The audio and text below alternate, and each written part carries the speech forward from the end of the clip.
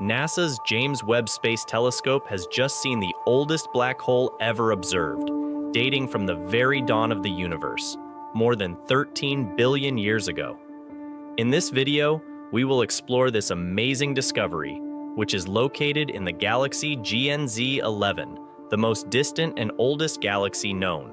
This discovery is important and exciting because it challenges our current understanding of black hole formation and growth, and it could shed light on the early universe and the reionization era. We will answer the following questions. How did James Webb detect the black hole? What does this discovery tell us about the early universe and the reionization era? What are the implications and the future prospects of this discovery? So, if you are curious and fascinated by the mysteries of the cosmos, then stay tuned and watch this video till the end. The black hole and the galaxy that host it are very far away from us, more than 13 billion light years away. This means that the light that we see from them today was emitted more than 13 billion years ago, when the universe was only 400 million years old. To put this in perspective, the universe as we know it from current theories is now about 13.8 billion years old. So we are seeing the black hole and the galaxy as they were when the universe was only 3% of its current age. This also means that the light that we see from them has been stretched by the expansion of the universe, shifting it from the visible to the infrared spectrum. This is called the redshift, and it is a measure of how far and how old the objects are. The higher the redshift, the farther and the older the objects are. The black hole and the galaxy have a very high redshift of 11.1, which is the highest ever measured for any object in the universe. But how did James Webb manage to see such a distant and faint object? The answer is by using the gravitational lensing effect. This is a phenomenon that occurs when the light from a distant object is bent and amplified by the gravity of a massive object in the foreground, such as a galaxy cluster. This creates a distorted and magnified image of the background object, like a cosmic magnifying glass.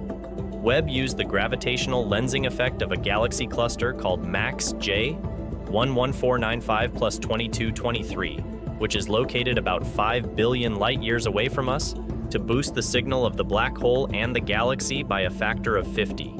This allowed the US to capture the image and the spectrum of the black hole and the galaxy with unprecedented clarity and detail. By analyzing the image and the spectrum of the black hole and the galaxy, Webb was able to measure the mass and the accretion rate of the black hole, and the distance and the age of the black hole and the galaxy. The mass of the black hole is 1.6 million times that of our Sun, and the accretion rate is the amount of matter that the black hole is swallowing from its surroundings, which in this case is very high, about 10% of the Eddington limit, which is the maximum rate that a black hole can accrete without blowing away the incoming matter with its radiation. This rate is so high that it is eating its host galaxy to death, consuming more than 100 solar masses of gas and dust per year.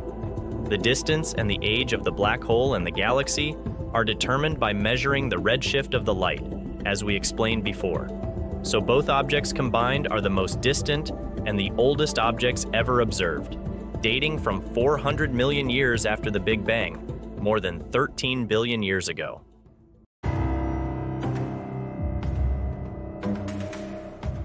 So what does this discovery tell us about the early universe and the reionization era?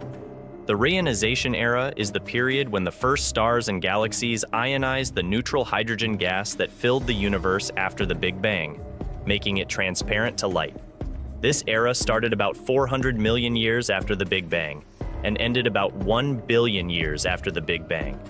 It is one of the most important and mysterious phases in the history of the universe, as it marks the transition from the Dark Ages, when the universe was cold and dark, to the modern era, when the universe is filled with light and structure. However, this new discovery is surprising and puzzling, because it challenges our current understanding of how the first black holes formed and grew in the early universe. According to the current models, the first black holes should have formed from the collapse of massive stars and should have grown slowly by accreting matter and merging with other black holes. But this black hole is too massive and too old to fit this scenario, suggesting that there might be another way to form black holes in the early universe, such as the direct collapse of dense gas clouds. It is also one of the most luminous objects in the universe, emitting a huge amount of energy and radiation, which could have a significant impact on its environment and on the reionization process.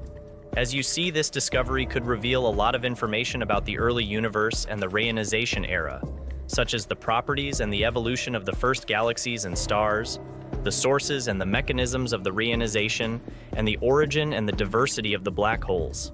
The black hole could be one of the sources of the intense ultraviolet radiation that ionized the hydrogen gas, and could also provide clues about the formation and the structure of the galaxy that hosts it, which is the most distant and the oldest galaxy known.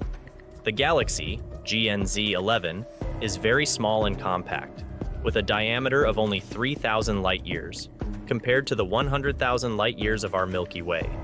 However, it is also very bright and active, forming stars at a rate of 20 solar masses per year, compared to the one solar mass per year of our Milky Way.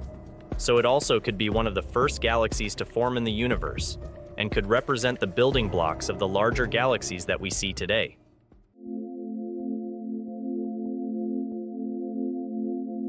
Now let's talk about the implications and the future prospects of this discovery. It is a remarkable and groundbreaking achievement that challenges and enriches our understanding of black hole formation and growth, and that could shed light on the early universe and the reionization era.